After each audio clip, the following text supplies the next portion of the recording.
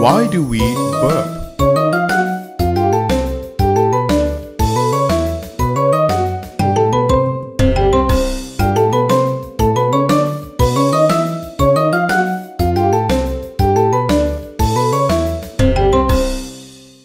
Happy birthday to you. Happy birthday to you. Happy birthday, dear tiger. Happy birthday to you. Yummy! Cake, sandwiches, chips, lemonade, chocolates. There is so much to eat and drink at Tiger's birthday party. Dog, eat slowly. The food is not going to run away. Uh, uh, uh, it is very tasty. I want to have a soft drink too. Okay, slow down. Here's your drink. Everything was so tasty.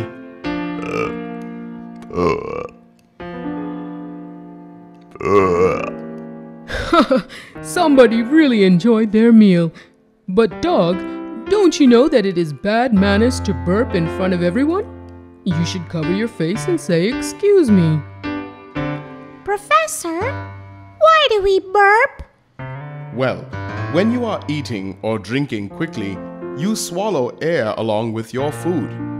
But your body does not need this air. So when this extra air reaches your stomach, it needs to come out. This air comes back the same way it went down, through the throat and mouth as a burp.